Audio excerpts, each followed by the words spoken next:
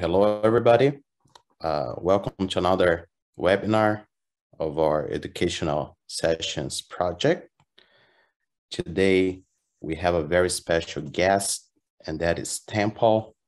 I'm sure you heard this name before. Uh, Tempo is one of the most popular uh, vendors of the Atlassian marketplace. And today, we are going to be learning how to master uh, resource planning. We have Tempo Planner, which is a marketplace app. Um, this is our agenda for today. We're gonna be going over uh, the introductions. I promise to be quick here. Uh, then we're gonna go over the features and benefits of using Tempo Planner. Uh, we're gonna cover a use case and then we're gonna finish the webinar with a demo and a Q&A session.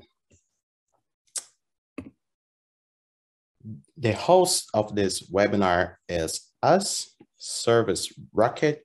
We are a solution partner, a platinum solution partner, and we've been partners with Atlassian for more than 20 years. If you want to know more about us, you can just visit this website right here. And if you decide to get in touch, please don't be shy. We're going to be more than happy to get to know you. And here I have a picture of Melissa Pahde. Melissa uh, works for Tempo as a channel account manager. She's the one who's going to be teaching you know, about resource planning today. We are super happy to, to have uh, Melissa as today's uh, speaker. And with that said, Melissa, I'm gonna let you take the lead from here. Thanks so much, Mario, for the introduction. Uh, hello, everyone. As Mario mentioned, my name is Melissa, and I am the Enterprise Partner Manager for North and South America here at Tempo. So if we want to go ahead and switch slides here. Yeah. You will see a brief overview on Tempo. As some of you already know, we offer integrated solutions for time management, resource planning, and budget management. We are one of the largest vendors within the Atlassian marketplace, and our 20,000 plus customers gain an exceptional understanding of how time and effort are spent. With data insights at their fingertips, our customers are able to focus their people's time on the most impactful work. Moving on to our next slide. The Tempo product that we will be talking about today is Tempo Planner. This tool offers businesses an optimized workforce, extended visibility, as well as actionable insights. As I'm sure you all know, many project managers rely on spreadsheets to support them in their resource planning. But when it comes to planning for big projects with many teams and stakeholders who are geographically dispersed, spreadsheets have some real drawbacks. They can be bulky and inaccurate and require significant expertise to use in any kind of advanced way. As an alternative to Excel spreadsheets, Tempo Planner has a lot to offer those who need a tool for resource planning. Unlike Excel, Tempo Planner has automation and it's centralized in Jira, so users don't need to jump between tools.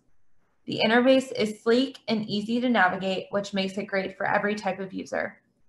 If you have the right permissions, you are able to quickly generate reports to get a quick, quick grasp of capacity. When it comes to usability and efficiency, there is really no comparison. So moving on to our next slide, we will be discussing today um, a use case from the entertainment industry. We are unfortunately unable to release the name of this client, uh, but when they originally came to ServiceRocket, they had three main asks. First, they were looking for a tool that excelled in resource planning and allowed them to schedule their employees and teams on specific projects in JIRA. Second, resource visibility was very important to them. They needed to be able to view the current and future state of all projects and resources at once. And lastly, utilization. The client requested to have a solution within a single system, which was JIRA, where they could compare actual time with planned time for their resources. ServiceRocket immediately thought of Tempo Planner after discussing these needs with their client. So moving on, I am going to start the demo. I'm going to share my screen here.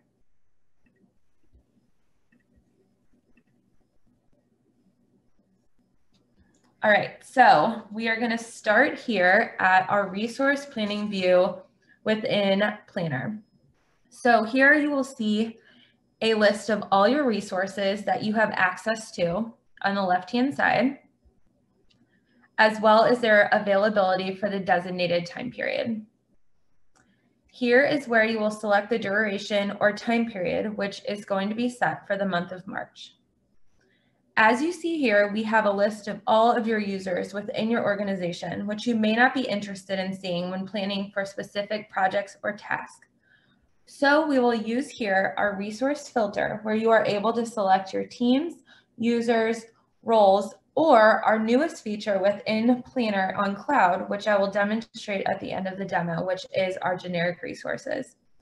So for example, if you need to view all of your developers, and check their availability. You will simply drop this down, click roles, and select developer. So here you will see all of the all of the developers within your organization. Something to note, there is only one role per person in a team, but a person can be in multiple teams and therefore multiple roles. However, at Tempo, we recommend having one role per user. So you will also see here within the resource planning view check marks, as well as yellow and red bars. These are there to show how much is planned based on current capacity of specific users. The red bar here means that the user is overbooked for their daily capacity. The yellow bar, as you will see within many users here, are the hours that each user is booked meaning that they still have additional hours available for that specific day based on their designated capacity. The green check mark, as you already see some of these users have for the month of March, means that the user is booked to their allocated capacity for that specific day. So now you may be wondering how to calculate capacity. This is done from a workload scheme. You can define different workload schemes for your resources by simply going to settings here on the left-hand side. Under working days, you will then see workload. I'm going to click this here. This will show the specific working days for specified teams and users, as well as how many hours they work per day. As you see here, Team Malaysia works eight hours per day, Monday through Thursday, and then eight hours on Sunday. And then we also have here our part-time employees, which are working four hours per day, Monday through Friday you are able to create as many workload schemes as you need. As you can see, you can do this by office, by location, as well as full-time and part-time employees. So we're gonna go back to our developers here. So we're just gonna click on the planning icon. We're gonna change our duration back to March. And we're going to filter back to our developers. So say I am a manager looking for a developer for a project that is going to run from March 7th through the 11th. So this specific project is going to involve building a new Tempo website. So looking at the list of all of our developers, we will see here that Eglo happens to be available the entire week that we have this project. So I'm going to click on the starting date, which is here, March 7th. And you will see now the plan time dialog box that pops up. Here you can plan on an issue or a project. An issue is already created by you in JIRA since Tempo is fully integrated within JIRA. This may be epics, stories, bugs, task, or subtask.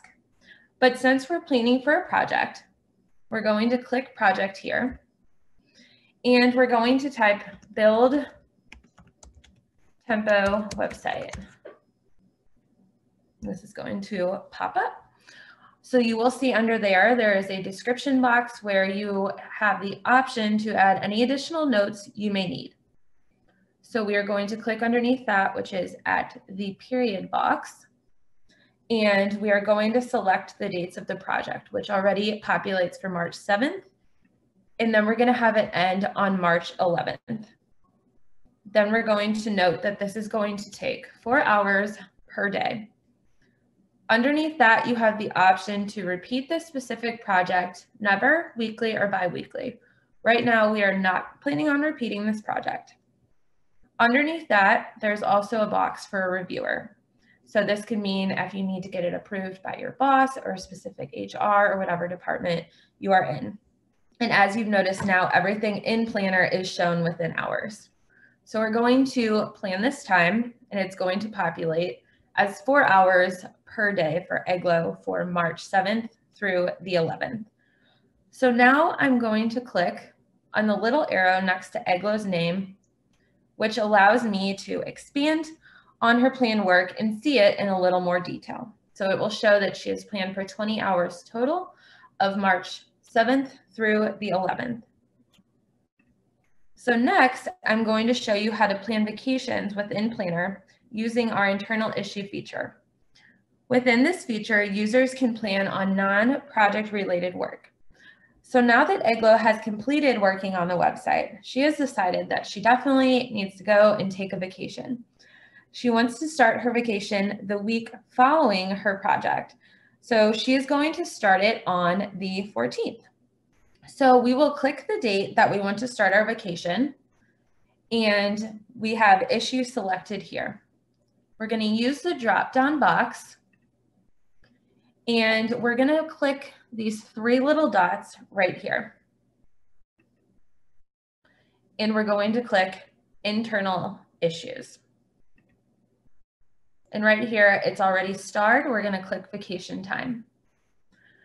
So we are going to click period, have the dates of her vacation run from March 14th to March 18th, have that run the full eight hours per day. She unfortunately is not going to repeat this yet. And we're going to have to have this get approved by her boss, which is Taylor. So we're going to click Taylor's name here. And we're going to click plan time. So now that her vacation is planned, I'm going to change our duration up here on the right-hand side from weeks to days. And I'm going to update the duration to the week where her vacation is planned. So we're going to update it from March 14th through March 18th. So we are going to expand her timeline again. And this will allow us to see her vacation plans is in more detail as well as make any changes to it. So you will see here that her planned vacation is still shaded, which means it is pending approval. Once it's approved, it will show up as white. So now to make changes to her vacation, say Eglo has decided to wait to start her vacation until the 15th. I'm going to hover over the 14th, click these little three dots here, and I am going to change her vacation to start on the 15th. So you will see it updated here, and you also have within these three dots, you can approve and reject the vacation. So that's where when Taylor gets the notification that Eglo has submitted a new plan, she will go in there and she will either approve her vacation and or reject it. So next I am going to show you how to import plans from JIRA issues. So we are going to go back to weeks. We are going to click this little arrow for Eglo and we are going to change the duration back to March 1st through the 31st. And we're going to click apply here. So we are going to start off by filtering by teams. And these teams are going to be the teams that you want the plans imported from. So I'm going to choose business and sales as well as our development team here. So filtering by teams, um, you are going to do that, and then we are going to filter here. So this matters for the JIRA issues I'm about to import, as you will see here in a minute.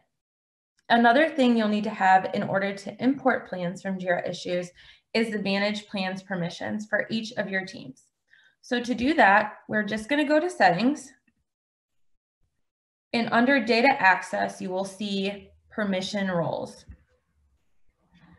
So now you're just gonna want to make sure manage plans is selected for everyone here. So you are able to then go in and import your plans for your JIRA issues. So we are going to go back to our resource planning view and make sure the date is set for March. And then we're gonna filter by our teams again. And then with all of that set up, we are, I'm going to click the import from JIRA button here at the right. Once this window appears, you are able to change the filter or add another team if it is needed. Today, I am just going to stick with business and sales as well as our development team. So I'm going to click the issue that I'm wanting to import, which is design the mobile app for Taylor, which is due on March 11th. So I'm gonna click this and I'm going to create import. So I'm gonna scroll down here and you will see Taylor on March 11th has designed the mobile app right here.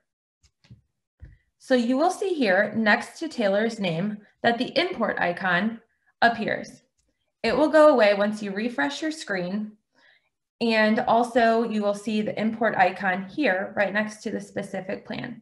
This will be staying next to each individual plan as it will tell you that there's a connection between the plan and corresponding JIRA issue. So next, I'm going to take you to our reports tab. If you have both timesheets and planner, you will see all three of these. If you just have planner, you're just going to see this plan time box right here. So first, we're going to look at our planned time report. Within this report, you will see all planned hours created within the instance, whether in resource planning view or on a dedicated issue. What's also cool about this is you are able to slice and dice all of this plan data. For example, we're gonna go back to our developers. We are going to filter by roles like we've been doing and click developer. Then we're gonna click create.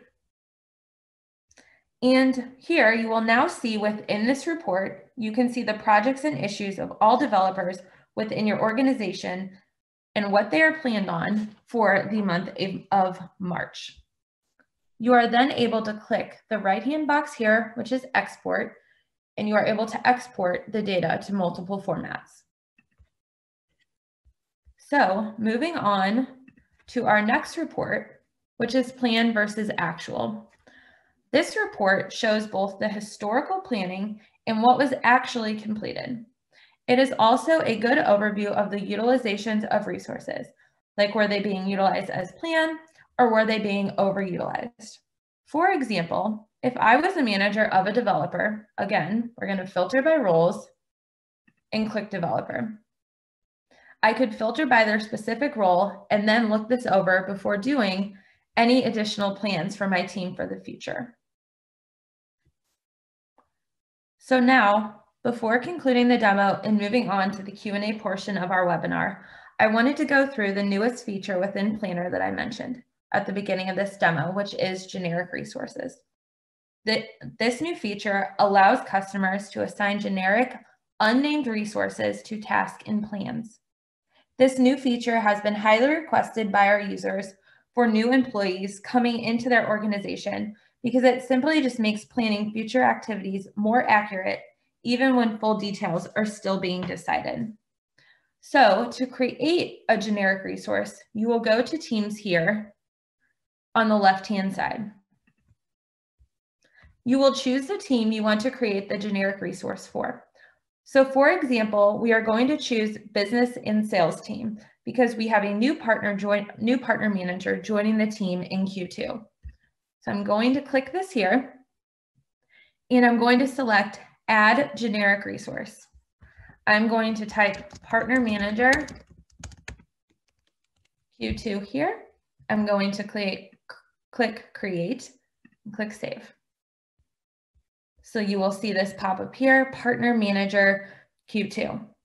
So I'm going to go back to our resource planning view here, and I'm going to show you how to plan the generic resource. So we will click the clock here on the right-hand side, which is to plan time. I'm going to select the drop-down menu generic resource and then choose our partner manager for Q2. I'm then going to type BS24, which is for product training for new employees.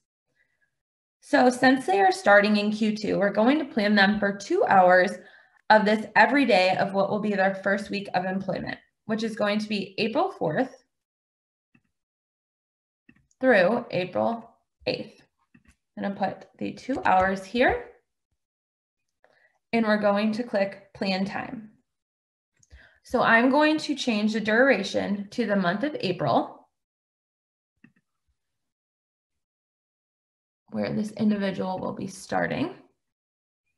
And you will see down here, the new partner manager for generic resource. So, as well as you can drop down here, you can see it in more detail that they are planned for a total of 10 hours of product training, and then it shows the issue key right here. So as you see here, we have many users listed and it may be easier for a specific manager or maybe HR even to view the generic resources while planning onboarding or just new employee training overall. So within this new feature, we are able to filter by generic resource. You can add multiple generic resources to this as well. So we're gonna click generic resource here First, I'm going to start with our partner manager for Q2. So say we also want to add our account executive hire for Q2 as well, and you are able to see everyone on this view. So this is the end of our demo. We will be moving on to the Q&A session of this webinar. I'm going to stop sharing my screen now. And do we have any questions? Um, wow. Wow, Melissa. What a demo. Absolutely amazing. Uh, it looks like we are already getting some questions. Um, so the first one that I see here is, how do you remove a generic uh, resource? So to do that, let me see. What you'll do is um, you will go to the team section that you created the generic resource in.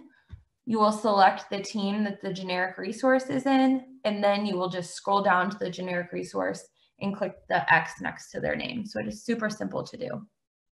Do you want to show us? I can't. I can't stop sharing sharing my screen if you want to. Uh, sure. Right. Let's see here. Share screen. Sure. Okay, so to do this, you'll just click Teams, go to Business and Sales, and then we can just delete the one that I just created, hover over that, just remove it like that. Okay. Super simple. Yep, and then uh, let's see what other questions we are getting here. Uh, okay, we have another one here. Uh, what is the size of the organizations that usually uh, use Tempo Planner? Are we talking about a small business or they are usually enterprise uh, clients? So Tempo, Tempo Planner will definitely target to any size business from small to medium size all the way up to large enterprise customers. Gotcha. Right. We have another one here from Paulina. Hi, Paulina. How are you doing? Um, so Paulina is asking, can you show how a project is defined? Is this the same as a JIRA project or a company defined initiative?